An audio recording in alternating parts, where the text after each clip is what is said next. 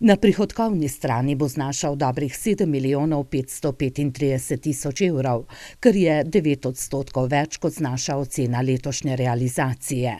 Na odhodkovni pa 8 milijonov 570 tisoč oziroma 6 odstotkov več. Imamo kar nekaj projektov, večjih projektov, ki se nam začnejo v naslednjem letu oziroma so se že začeli letos, pa se prenesejo v naslednje leto.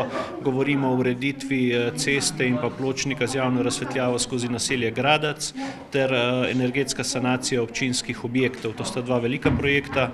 Pripravljenih pa imajo tudi več projektov na področju ureditve cest v občini, zato bo tudi zadolževanje večje v prihodnjem letu vendar še zmeraj smo eh, na četrtini eh, povprečnega slovenskega zadolževanja.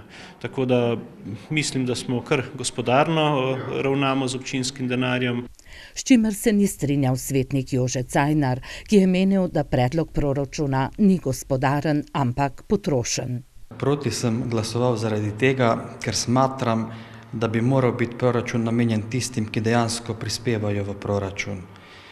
Eh, absolutno sem za to, da se izvajajo določene tudi mehke vsebine, nisem pa za to, da se povečuje število zaposlenih namenjeno za te dejavnosti. Predlog proračuna predvideva dodatno zaposlitev v knjižnici, v odboru za družbene dejavnosti pa so predlagali, da bi dodatnih 8 tisoč evrov namenili za polovično zaposlitev v Metliškem društvu prijateljev mladine.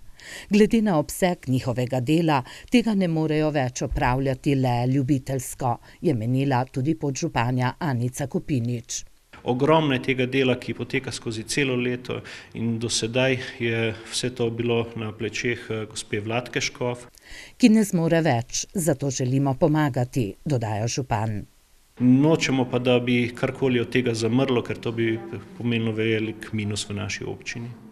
Z enim glasom proti so svetniki v prvem branju sprejeli predlog proračuna, ki ga bodo z vsemi pripombami in predlogi ponovno obravnavali na prihodnji seji.